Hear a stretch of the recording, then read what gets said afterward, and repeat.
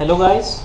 Now we will see um, how can we uh, check the material specifications and its procurement status in SAP R3P version. So first of all uh, uh, we want to look at the specifications of the material. We have the transaction MM03 so we put here the index number for example 10 992 so going on the purchase order text we can have the specifications. Now we want to see uh, its level in our store stock level. We have the transaction one transaction we have MMBE so this is our uh, material index number plant and store storage location against this plant we uh, in unrestricted use there is no quantity which means that uh, there is no quantity present at stores neither it's in quality inspection it's on order. So there must be some PO created for this item. Now we will see how can we uh, uh, check its PO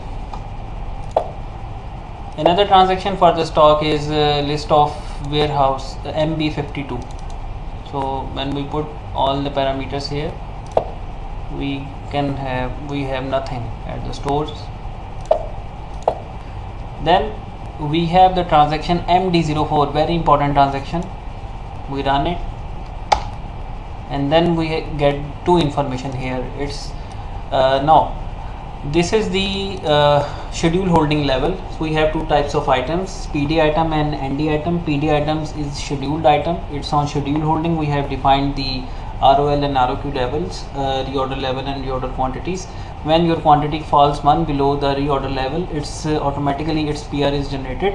And uh, uh, according to the quantity defined in reorder quantity, replenishment quantity. So this is how this system works on automatic for the PD items, not for the ND items. ND items are procured uh, on one time basis uh, after getting management approval. So uh, first information we get from md04 is this and the other information its procurement status. If it's if there is nothing there uh, against uh, this item there will not be showing anything here. If there is some pr a pr number will be showing here. But now we have its po so this po number we uh, its po number is showing. So we copy it copy this number. And then we will go to the purchase order transaction which is ME23N and then we put this PO number here. Now there is a PO in this PO there are two items and its delivery schedule is uh, 30.07.2017 and uh, its status we will see its delivery uh, sorry delivery delivery uh, sorry it's an delivery schedule. Okay this is the delivery schedule. Uh, we are getting the same thing. Now uh, here we we are saying we have ordered this much items and it is still to deliver.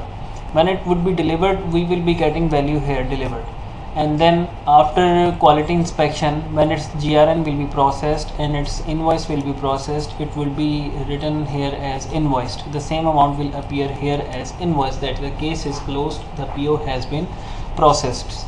So here we have still to deliver that the item is not yet delivered.